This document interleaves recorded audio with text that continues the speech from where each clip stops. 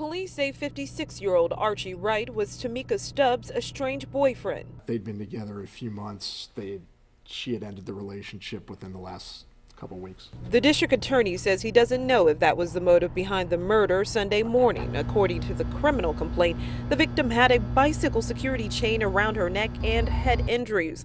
The complaint says police also found a bloody shoe print on the bathroom floor. Police believe the next morning Wright went to work as a school van driver. We didn't have probable cause to arrest him. But police received more evidence, video from the van's camera. Police say the video shows Wright with tan boots in the van and then driving here to the Susquehanna River where they believe he dumped them. That's why there was a search conducted, you know, at that location.